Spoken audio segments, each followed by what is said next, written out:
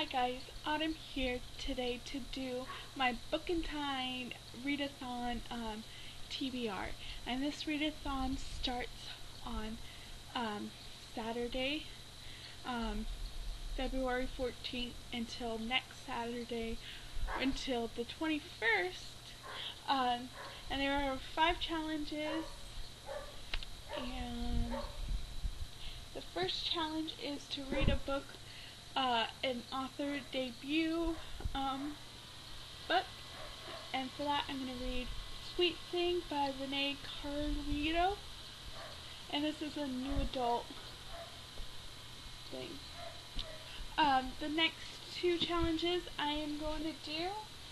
And um, I would think one of these, these two books fit into both categories. So um, whichever one um, I am gonna count. And those are the books that've been on my TBR a long time and books set in um, my home country, which is America. So yeah, and the first one is Down to You by M. Leighton. And the next one is If You Stay by Courtney Cole. They've both been on my TBR, and I would think they're both set in America, but I don't know that to be 100% sure. So I'm sure one of them is um, set in America. So whatever, whichever one. Um, if this is set in America, then it will be the one for that challenge. And then this one will be the one that's been on my TBR the longest.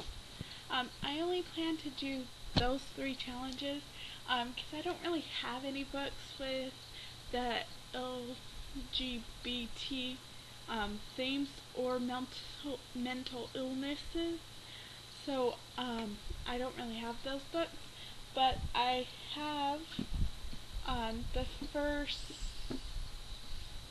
um, in the Beautiful Broken series by Courtney Cole. I have the first two books in that series. So if I really, if, so I'll start, I'll pick up If You Leave. And I also have the novella, which is 2.5, I think.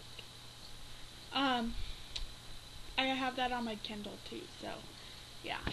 And then I have the trilogy of the Bad Boy novels by M. Leighton or whatever. And it's Down to You, Up to Me, and Everything for Us. So those are my six, five, no, six books I plan to read. And I also um, am going to listen to some audiobooks, so I don't plan to read all six of these. I probably won't finish all six of these, but yeah. So that's my TBR. Um, comment down below what you plan to read, and if you've read any of these books, let me know. I'll see you guys later. Bye.